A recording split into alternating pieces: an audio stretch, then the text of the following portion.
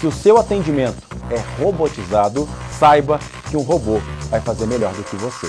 Seguir um script engessado ao pé da letra, demonstrando que você está lendo aquele script, percebe do outro lado que você não tem nenhuma emoção e que você está completamente despreparado. Ao mesmo tempo, quando você recebe uma informação do cliente e quer colocar debaixo do tapete ou demonstra muita frieza naquele atendimento, ele percebe que do outro lado tem uma máquina, mas na verdade é um humano.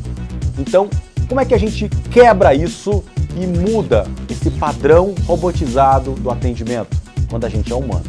E para a gente ser humano, por incrível que pareça, basta a gente ter empatia pela outra pessoa. A empatia é a capacidade de você sentir a dor do cliente profundamente e assim você fica engajado em querer solucionar. Quando você tem empatia, você consegue demonstrar emoção, você consegue fazer uma adaptação ao atendimento. O que eu sugiro não é um script engessado, é um roteiro encantador que vai guiar o profissional para o melhor atendimento. Esse roteiro é dividido em três etapas: abordagem, conexão emocional e encerramento.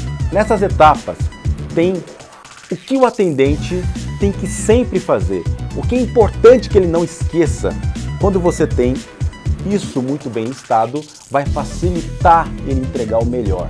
Mas ao mesmo tempo, não faz sentido ele ficar lendo aquele roteiro. Aquilo é só um guia para que ele possa entregar a sua melhor experiência de atendimento.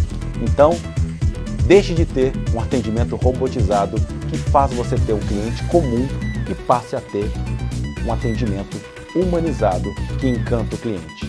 E é seu papel, como empresário, capacitar a sua equipe para ter um atendimento humanizado.